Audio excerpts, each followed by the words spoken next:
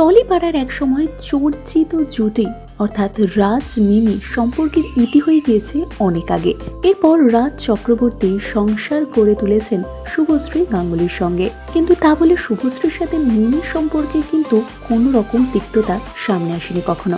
তারা দুজনেই পরস্পরের সাথে সৌজন্যমূলক সম্পর্ক রেখে চলেছেন।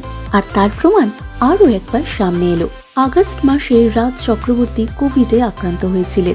তারপর পরই তার পিতৃবিয়োগ। মিমি চক্রবর্তীও কিন্তু এই সময় সব রকম তিক্ততা দূরে রেখে পাশে দাঁড়িয়েছিলেন রাজ চক্রবর্তীর পরিবারে। সমবেদনা জানিয়েছিলেন তিনি সোশ্যাল প্ল্যাটফর্মে। এবার আরও একবার চক্রবর্তী পরিবারের খুশিতে তিনি নিজেকেও সামিল করলেন।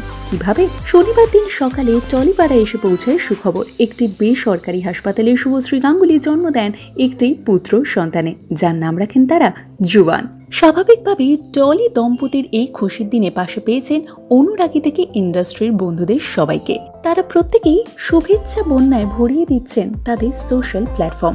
কে নেই সেই লিস্টে? রয়েছেন প্রসেনজিৎ চ্যাটার্জি থেকে জয়া হেসান শ্রেয়া ঘোষাল থেকে ঐন্দ্রিলা, বিক্রম চ্যাটার্জি থেকে মনামি ঘোষ, সায়ন্তিকা ব্যানার্জি থেকে অনির্বাণ রয়েছেন শ্রাবন্তী এবং কোয়েলো। আর তাই আরও একবার মিমি চক্রবর্তীকে দেখা গেল শুভশ্রী গাঙ্গুলিকে শুভেচ্ছা বার্তা জানাতে। ছেলের সঙ্গে শুভশ্রী টুইট করা একটি ছবি রিটুইট করে মিমি এদিন লিখেছেন, অভিনন্দন, ভালোবাসা এবং অনেক আদর। কি বলেছিলাম মনে আছে? তবে কি মিমি চক্রবর্তী আগেই প্রেডিক্ট করে নিয়েছিলেন যে জুনিয়র রাজ চক্রবর্তী কোল আলো করে আসতে চলেছেন রাজশ্রী জুটে।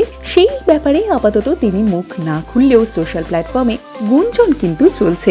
তবে মিমির এই শুভেচ্ছা বার্তায় যেরকম খুশি মিমির ফ্যানেরা, ঠিক সেরকমই কিন্তু শুভশ্রীর ফ্যানেরাও যথেষ্ট উচ্ছ্বসিত।